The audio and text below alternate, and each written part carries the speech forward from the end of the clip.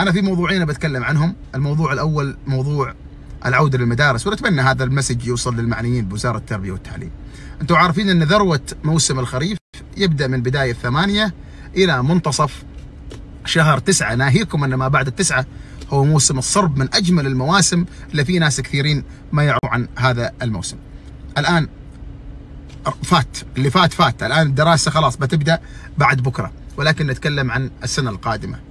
ما يمنع من وزارة التربية والتعليم أنها تأخر قليلا انتهاء الفصل الدراسي الثاني لهذا العام وتؤخر كذلك بدء العام آه، الدراسي في آه، العام القادم بإذن الله تعالى. بحيث أن الدراسة مثلا تنتهي في شهر ستة أو منتصف شهر ستة زين على حسب الحساب كيف وتبدأ الدراسة في منتصف شهر تسعة. بحيث أن البلد تستفيد استفادة كبيرة من موضوع السياحة آه، الداخلية وخاصة السياحه في محافظة ظفر. يعني في طلبة دراستهم تخلص في شهر خمسة تخيلوا ها؟ طيب الآن هم شهر ستة ما عندهم شيء. يعني ناس كثيرين الآن ينتظرون عيد الأضحى، يقول لك أنا ما بسافر قبل عيد الأضحى.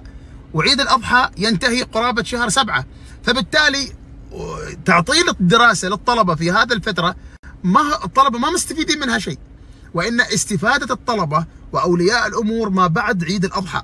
فبالتالي ليش ما الدراسة تنتهي قبل عيد الأضحى بأيام؟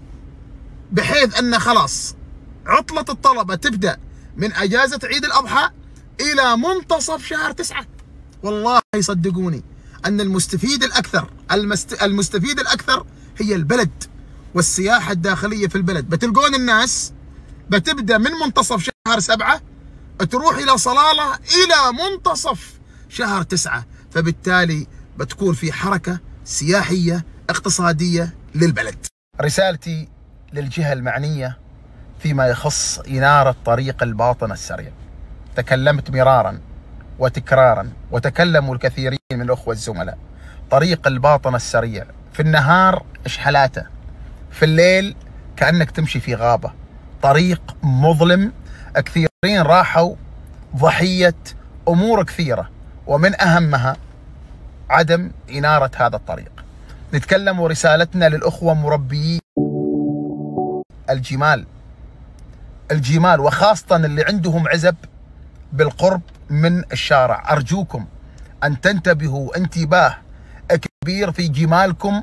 الجمل أو الناقة اللي ما يات العزبة فيما بعد المساء تأكد أن هذه قد تكون في الشارع وقد يروح ضحيتها ناس كثيرين ويتيتموا أطفال بسبب هذه آه بعض ما نتكلم بعض الجمال آه السائبة. وإذا كنت ما قادر تسيطر تعازينا لأسرة خالد عباس البلوشي اللي وافتها المنية يوم أمس في حادث اصطدام مركبته بجمل. رسالتنا للجهات المعنية. أرجوكم خلاص طريق الباطن السريع لابد من إنارته. لابد من إنارته.